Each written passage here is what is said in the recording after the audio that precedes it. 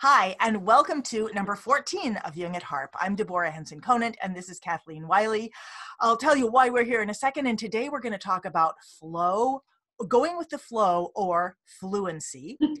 and um, so Kathleen is a Jungian analyst, and I am a composer and a performer.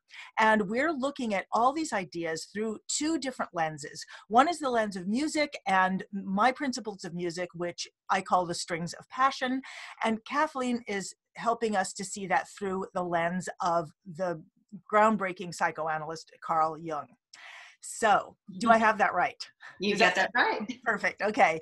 So, uh, what brought this up for me today is that I was struggling, sort of getting from point A to point B, and feeling like I was getting distracted by things, and um, and then I had to put on my cell phone and I had to find my earphones, and I was able to because I had just set up a system where it was very easy, where I always put them back, and I and I mm. was struck by that. I was like, wow, that worked. That was different. I didn't have to go looking around the house for a pair that I hadn't stepped on yet.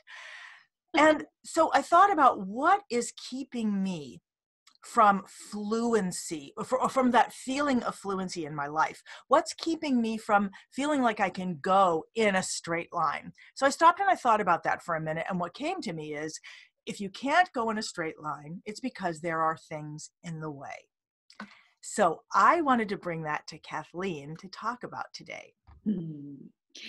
Yes, and as you're talking, you know, part of what occurs to me is that when we think of a straight line, we always think of that flat line that we all drew in those young math classes. But if we look at the arc of a circle, it also is a line. It's a curved line. Okay.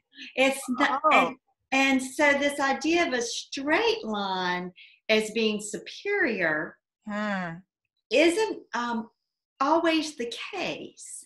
And there are moments where straight lines, like every time I take my earbuds out of my ear, I put them in this one place so that you always know where to go get them. Those kinds of straight lines create habit patterns or routines that just make it easier to live our lives. Because let's face it, with everything we do during the day, if we had to stop and recreate everything and go in the arc, the curved line, um, we take it would take a lot of energy.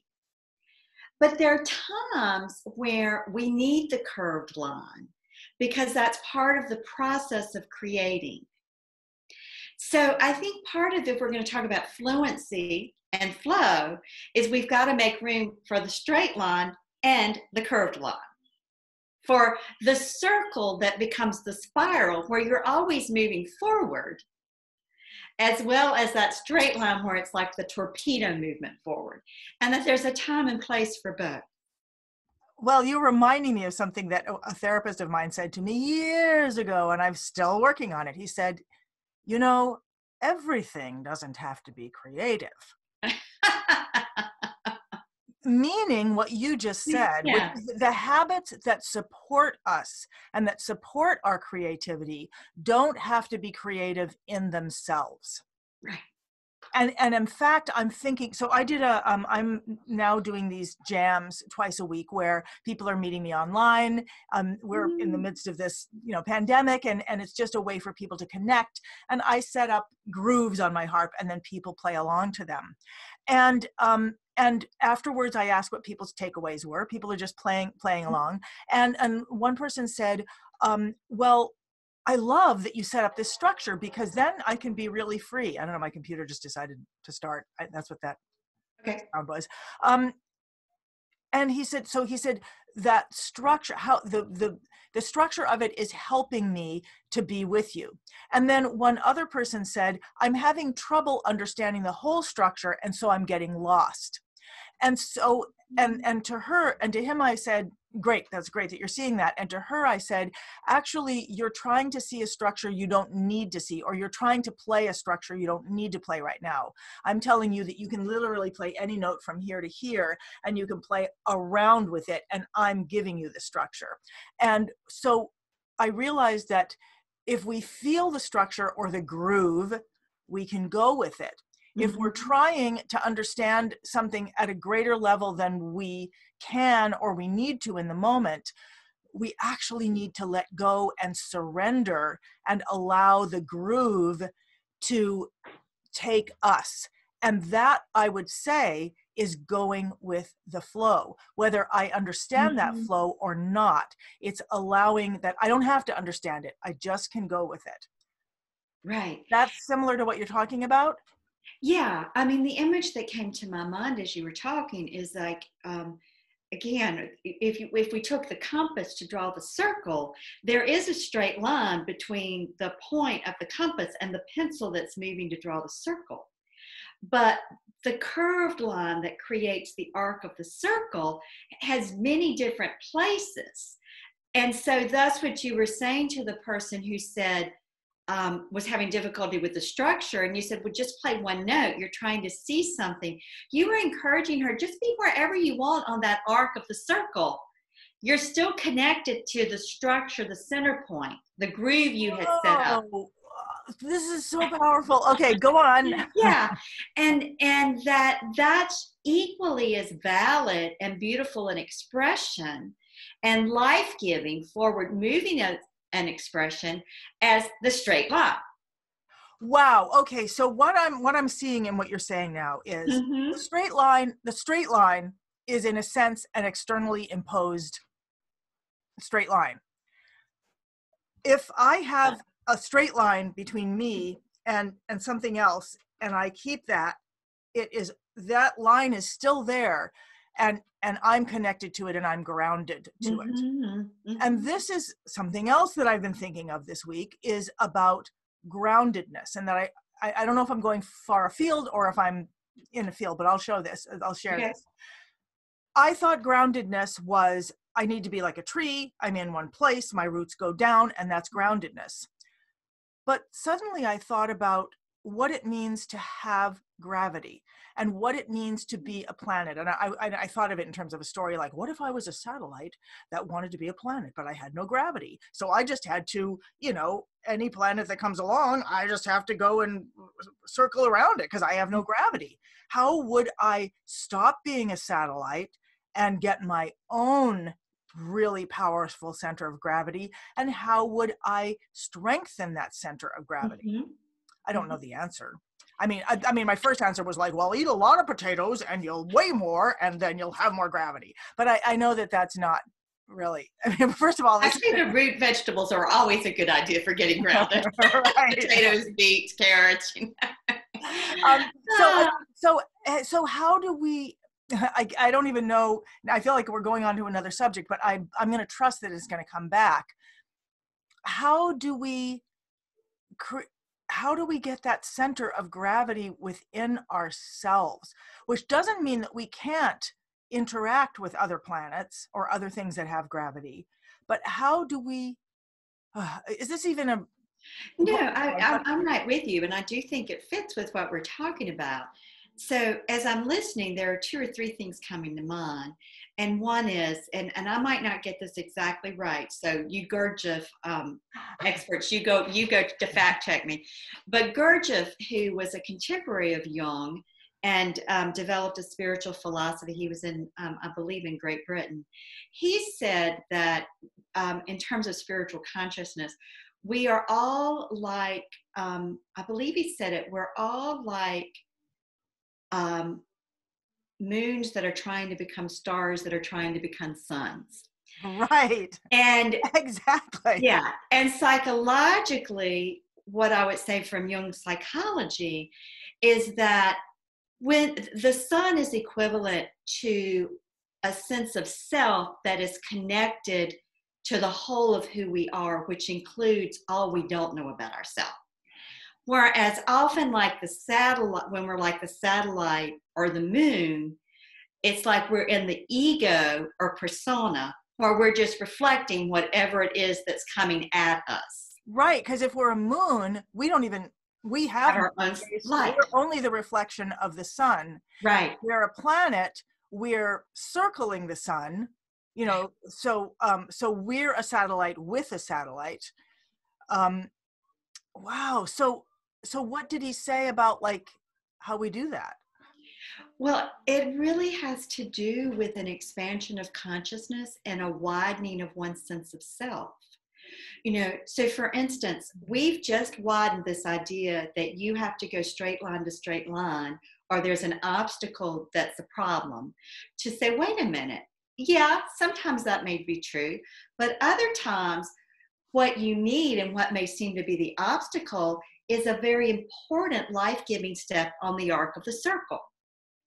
And that there are different ways to move forward. So we just together widened our consciousness, thus allowing you, allowing me, and whomever is listening to make more room for different kinds of experiencing and different ways of moving forward in our lives. Whether it's moving forward, letting go of emotional states, it's moving forward toward a project we want to do, or it's moving forward to say, you know, this is a straight straight line would help or this is the place where that curve would help and i can kind of bounce around to different points on the arc of the line well you're making me think also i mean we're we're recording this in a time of crisis mm-hmm. and i know that crisis often creates innovation Mm-hmm. That would not happen without that crisis. I know that World War II is because of World War II that many things that we have today were developed because they had to be developed.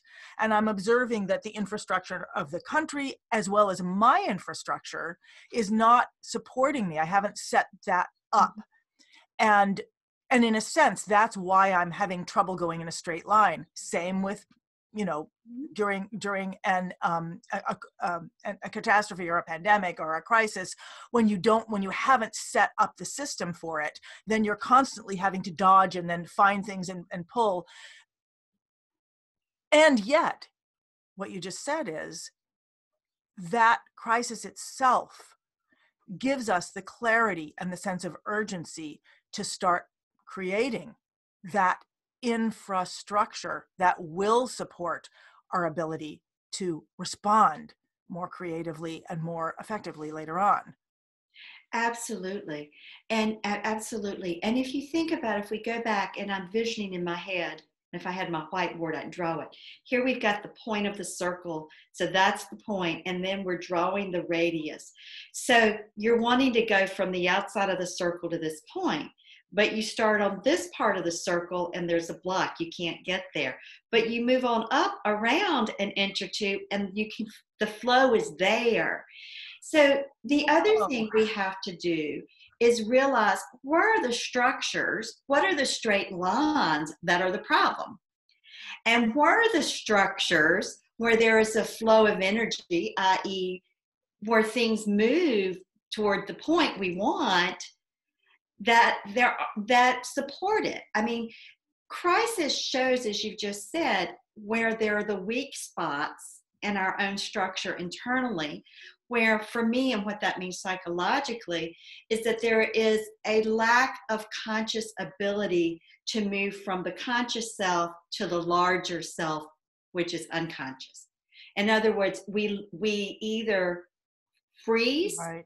or we flee from what we're feeling, or we go into fight mode versus moving towards the unknown of what's becoming known vis-a-vis the negative feeling state or vis-a-vis the problem vis-a-vis something that we're trying to resolve? No.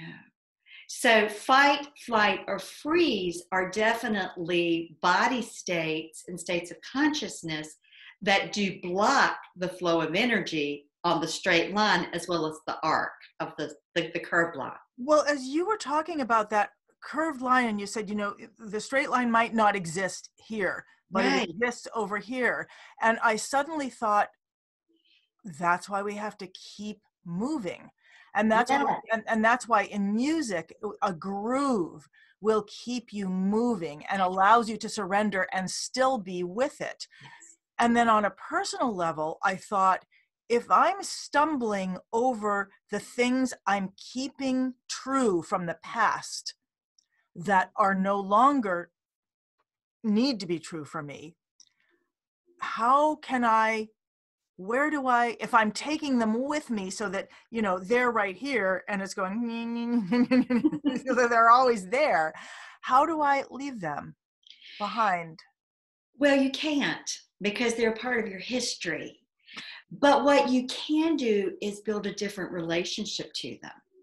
You can move on around the arc of the circle where you have the view that says, wow, there's that old historical response. But you know what? I'm not four anymore. And let me ground myself in the reality of myself as an adult and all the resources I have now. So you can't leave it behind, but you can build a different relationship to it, which is really what, if you think about the circle, that by the way is a symbol of the larger self for Jung. Right. And, and that if you think about that, then you can have different relationships based on where you are in your sense of self. Now you just said something. I'm I'm preoccupied by it. You okay. said ground yourself. If ground yourself in, I, th- I think you said something like in in where you are now, or yes. How do you do that? How do you ground yourself in a, a new reality? Yeah. So the the most simple thing is you take your socks and shoes off and you stand in the center of the room and you say, um, I, you know, I would say I'm Kathleen Wiley, and today is April 3rd, 2020, and here I am in my home office in North Carolina, and um, I'm looking outside and I'm seeing the beautiful dogwood trees blooming, and oh, I just saw this woodpecker land. We literally come back into our embodied sensory experience in the moment. Wow, that's like a captain's log, like captain's log. Yes. You know, yes. sitting in spaceship, Deborah. Yeah. yeah. And and once we do that, it's amazing how that seemingly simple exercise will shift your consciousness. Then let's just say you're caught in an old fear, as a lot of people are now, caught in early fears that the current situation is just a perfect projection screen for.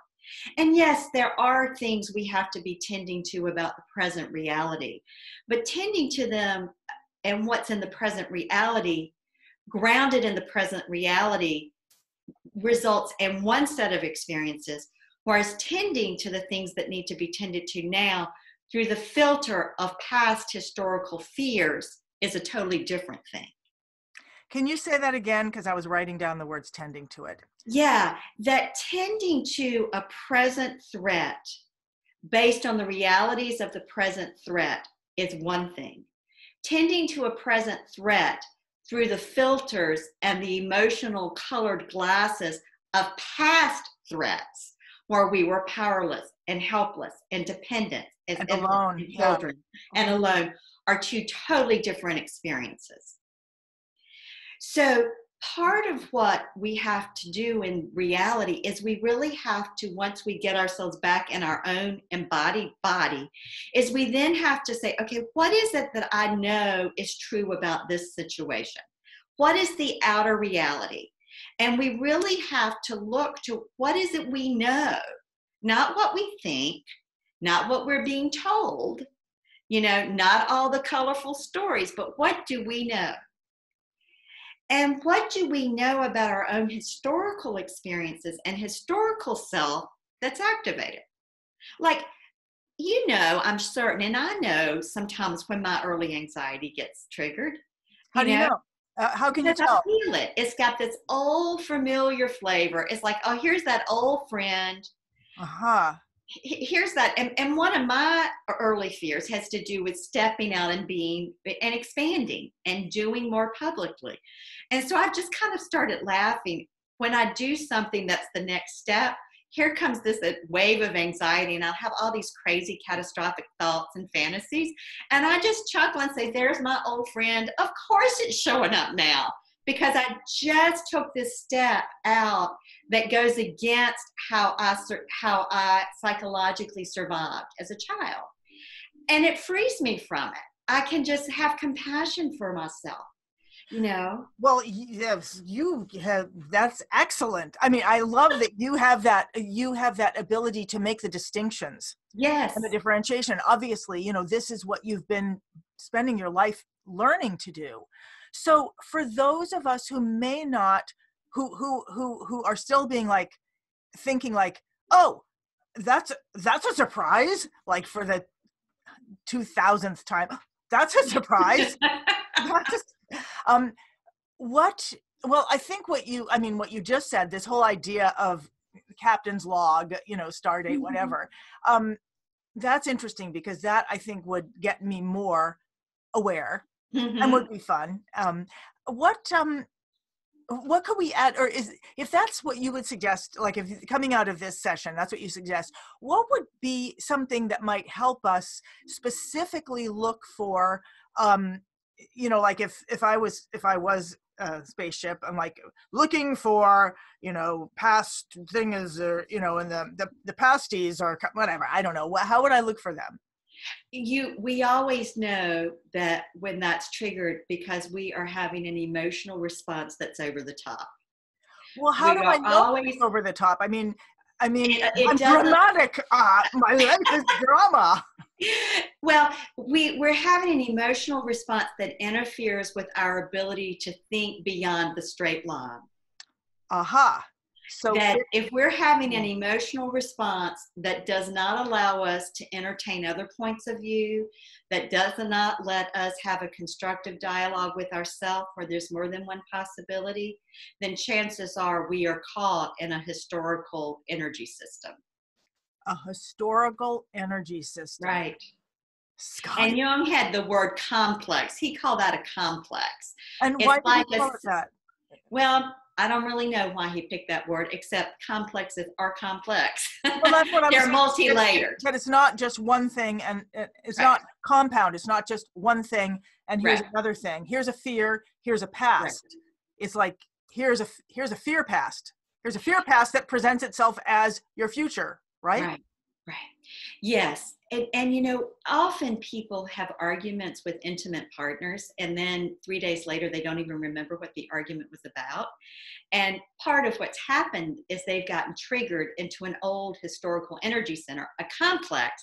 So all of a sudden, they're arguing about something that isn't at all the issue that they started the argument that started the argument. Yeah, you're shaking your head. You know what I mean. Probably everybody watching knows what I mean.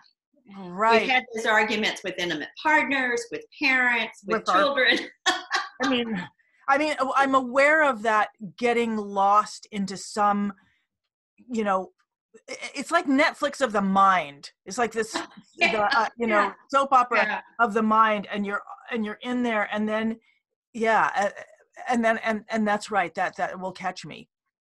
Yeah, and I want to circle back to your question about how do you do that yeah. if you haven't done the years of analysis that I've I've done because that's my my life's work.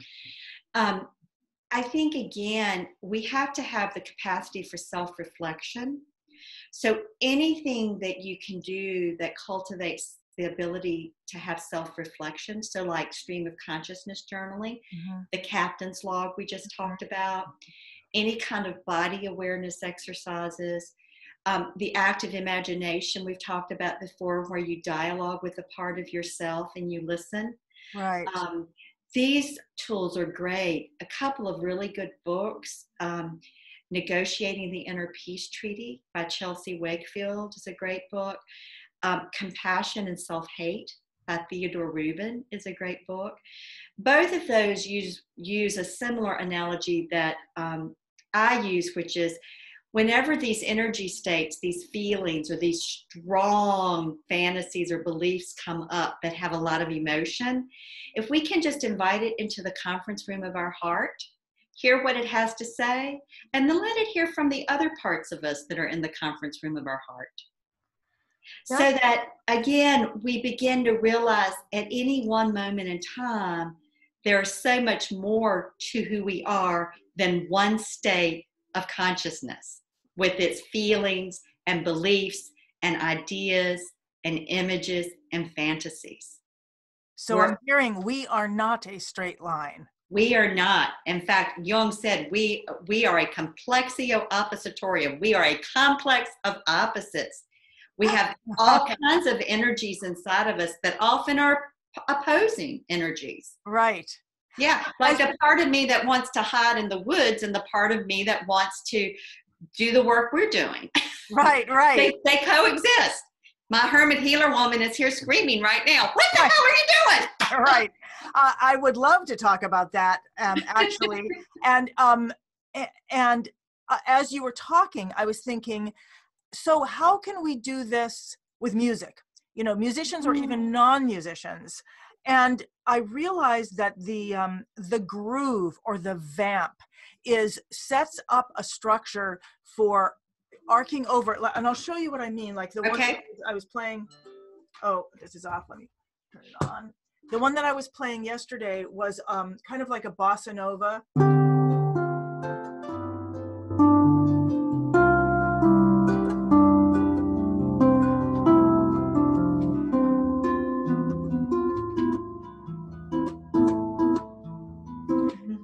Repeated and repeated. So I actually looped it probably at a different tempo, but so this is slower.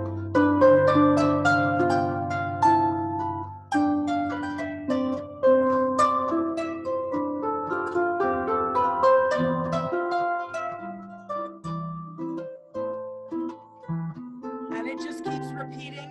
Mm-hmm. And what's what's beautiful about that to me is that when I set up the structure that I've got that loop, and I don't know how much you guys could hear of it, um, but I've got the loop going. I've got, I know that from here to here on my harp, I can play any note. And if you're playing on a keyboard, it's all the white keys of the piano. I set this up so that it's all in the key of C. So right. as long as you play single notes as if you were a flute, you can play anything. And if you keep doing it as a practice, it it allows you to sink and sink and sink into this feeling of um, of connection of connection with the music. Rather than trying to get it right it's we've talked about this before it is an opportunity to let it get to you. So this for example i mean if people wanted to get this um, the i have a i have a project called Harp Time with DHC, mm-hmm. where I'm creating a bunch of these. And and and if you sign up for that and, and, it's free, then you you'll get this. You'll actually get the audio, so people can play along with it on piano or on harp or whatever. And there's a bunch of them, and they're different. Like that one's got a rhythm, but then there's one. And I, I know how well you can hear this. They're just they're structures mm-hmm. that allow to play along.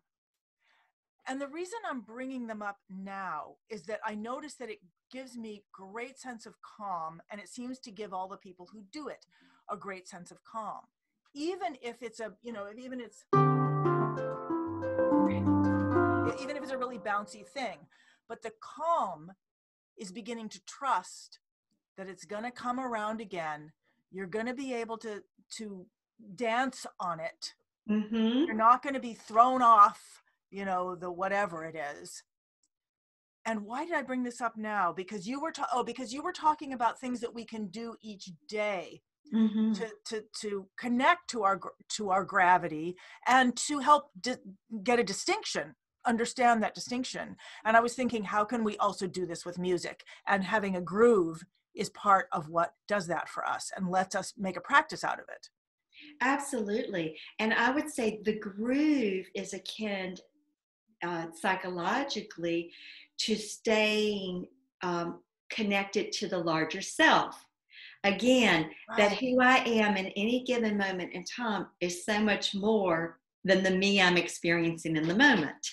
So how I'll say that I, again. Yeah, yeah. That, that the, that the getting in the groove is that sense of I'm always so much more than I'm experiencing in any given moment in time. That so the scared me shows up, but there's so much more with me right now, even though I can't access it, than scared me. Right, right. There's yeah. that uh, there's that foundational rhythm right. groove it's the thing you can count on that's it's, right there whether you and i just realized that when you're a beginning yeah. player you often can't hear it because you're just you're right you're, you're only can hear the thing you're playing and i just realized that the practice is all about listening to the what to the underlying groove even while you're doing what you're doing so that you see where it fits you just gave a beautiful definition of what it means to have con- be conscious of the ego self axis that at the same time the ego is doing something the ego is tuned into what's the underlying groove what's the bigger backscape what's the foundation here and so that the the same ego, the ego is aware of that or the the ego ego is aware oh, because oh you of want the ego to be aware of want that. the ego to be aware of that because at any given time there's so much more we know than the ego can consciously register in one moment in time. The ego you know is very much um, single-minded. It's hard for the ego you know it's like it, it, it is um, like a little circle whereas the larger self is the big circle that holds it all. Right. So the little Yeah. circle if, if the little circle is like a moon or something it's like i'm wobbling i'm wobbling i'm wobbling yeah yes yeah. And you know Yeah. and is not and is not being aware of that no matter how much i wobble my gravity is connected to them. So that's how it works Yes, and you mentioned gravity several times. So I just want to say, I think that from my point of view and from Jung's point of view, and um, for me, from the point of view of Western spiritual traditions, the gravity that is important for us to have is a sense of self. That the idea that the ego is always the problem and we need to get rid of ego or not have a sense of self I believe is problematic hmm. psychologically and spiritually because the ego or the sense of self we are grounds us in the present reality. And part of our work, as I can best tell it, in our play on this earth plane is to incarnate, is to live in To the totally body incarnate right yeah to, to incarnate and, and yeah. so that we we need an ego the problem is when the ego thinks it's in charge and that it's all that it is right that's when the ego is problematic so yeah so when you only can hear yourself and you can't hear the groove that's going on yeah. Yeah. and i'm sure as a musician you've had experiences where somebody you know the diva who takes over and there isn't room for anybody else yeah. yes i've experienced that i am that sometimes Um, yeah.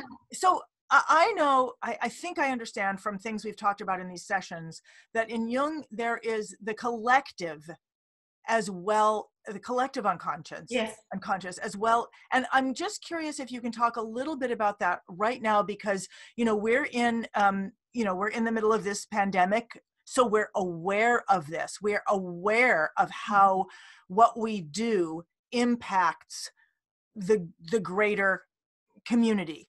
Right. That's always true. I mean it's Right. always true and we're not aware of it. So this is uh, giving us an opportunity to become aware of it.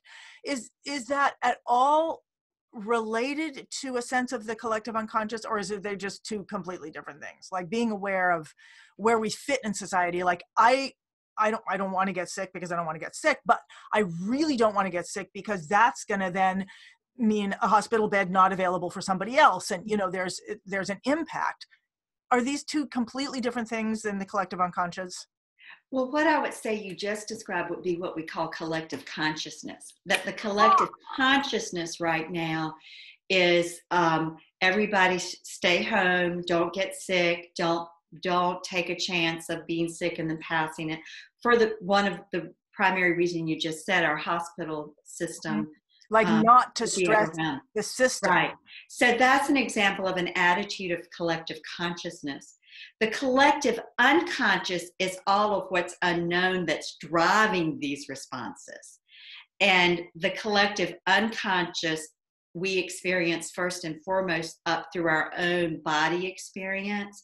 And I would say the primitive or unconscious body sensations and um, emotional affective states that come out of nowhere and get us.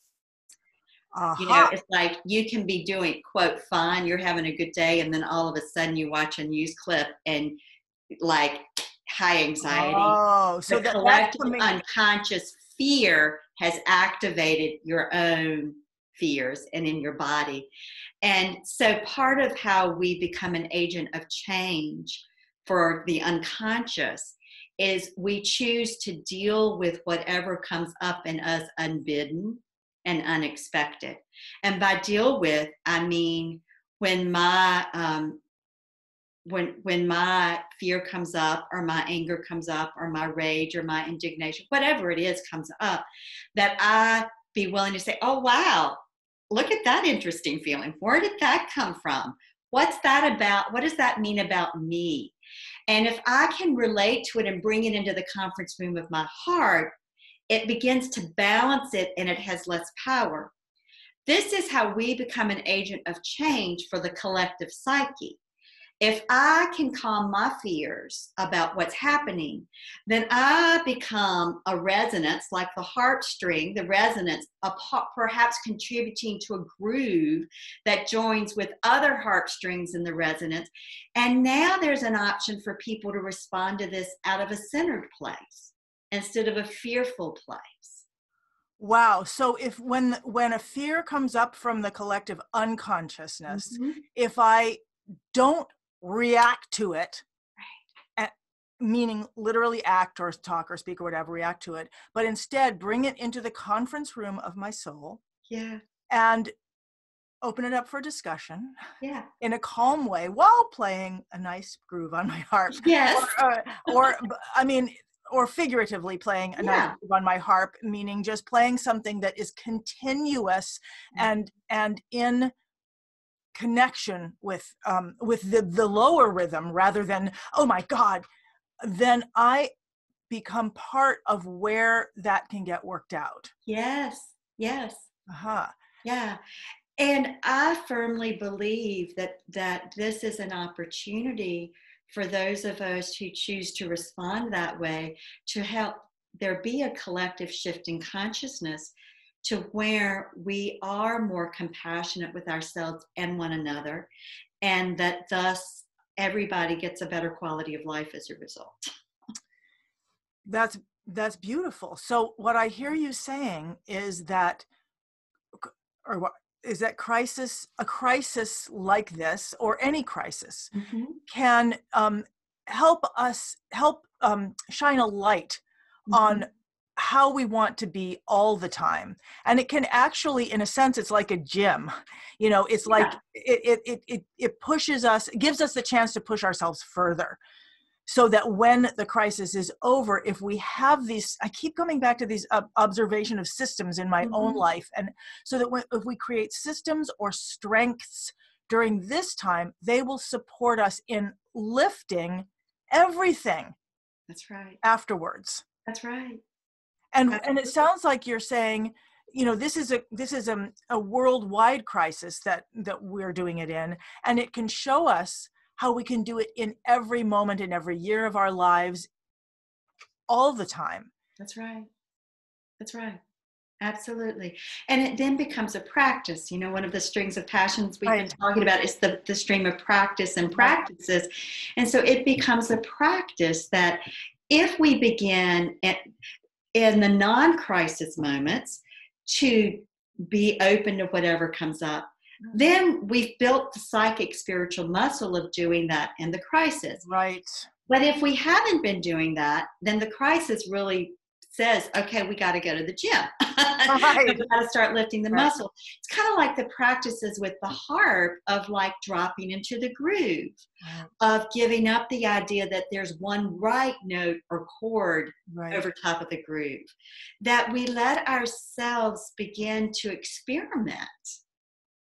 And oh, so that as when we hear the groove and can can trust it, then and we're in we've got that deep in us then we can experiment over it not yeah. not worrying about where we're going to wobble huh exactly and the same thing psychologically and spiritually that if we begin this practice of inviting whatever state of consciousness comes up with a strong emotion or affect or fantasy images that run away with us or beliefs or thoughts into the conference room of our heart hear what it has to say, let the other parts of us respond because they'll show up. believe me, th- th- this these parts of us don't. You know, we got lots of voices that want to be heard, don't we? I do.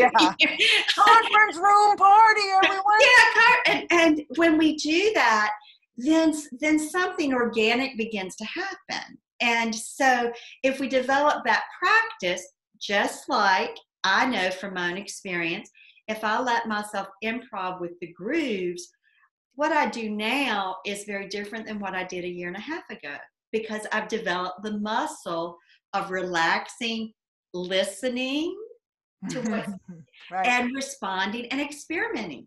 Right. And knowing that whatever you're doing is okay so that you're not reacting to that. Absolutely. Okay, so let's come back to my very first question because I have a feeling this is going to help answer that. Okay. And my my first question was about how do I go in a straight line? And you said, well, that may not be what you want to do, or and there are many different straight lines in different realities mm-hmm. in a curved world, which we have apparently. A curve is right. a straight line.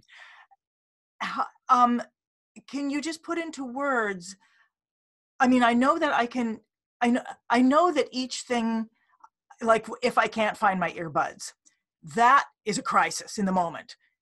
That crisis can either become, oh, just solve the crisis, or it can become, aha, thank you. This needs a system. Mm-hmm. Let's create a system. I'm seeing that that can become a beautiful dance for me right now in, in terms of creating a foundation for myself of greater functionality, greater fluency, greater flow. Um, what is there anything else, or is that really just it? Well, I think I think it's just it, and that if we discern where do we need the straight line and where would that be life giving and where do we need the arc the circle? So for instance the earbuds or i'm thinking about having things in my kitchen in place because right. i love to cook. So i want to spend more time cooking than i spend looking for the utensils i need exactly the, yeah. So if they go back in the same place every time then i get to have more time for that art line of experimenting with cooking the same thing with our heart, for instance. I know one of the things you talk about early on in one of your courses is setting up, I don't think you call it the learning environment, but no, know, yeah, creating conducive conditions. There you go. So, so you can go, yeah, right. Yeah, so the harp is there, the stand is there, the music, the tuner, all of those things are right there because if I've got 30 minutes to play harp, I don't want to spend 10 minutes getting everything I need together if I have it already together in a conducive environment, a conducive condition. So, what we might say might be kind of um, a rule of thumb or an intention about where do we set up the straight line and where do we go with the flow of the arc is is is this going to let me do more of the thing that's life giving so what's the difference between the arc and the straight line that the straight line is very linear and it's this way or no way, whereas the arc has lots of possibilities. And so, when would I actually use a straight line? When you want to know where your earbuds are, or ah. when you want to know where the utensils are in the kitchen. Okay, so that's an orientation. That is right. like knowing exactly the orientation of everything to me so right. I can reach out and play it. So, like when I learn the orientation of my strings right. so that I can play without looking. And I want to have that straight line orientation so I can have a curved line of, of being able to respond in time. Is that right? Well, because then you've set up a foundation or structures to support you in moving out into the curve where there are more possibilities, where there can be an expansion of self. It's like the two are necessary, they support one another. So, how would I go from knowing where my earbuds are, which is a straight line, to a curved line? What? How? Well, would... I don't know that you ever need to with where your earbuds are. Oh, okay.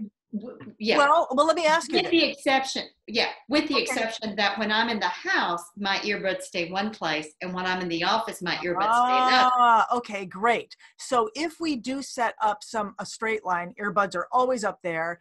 Then, like I did that with my keys. My keys always go by the front door. Yeah. Well, when I'm traveling, I need a new rule. I need, uh, you know, it always goes in the front pouch of my fanny pack, but but it's still it's different. It's more flexible. So is there?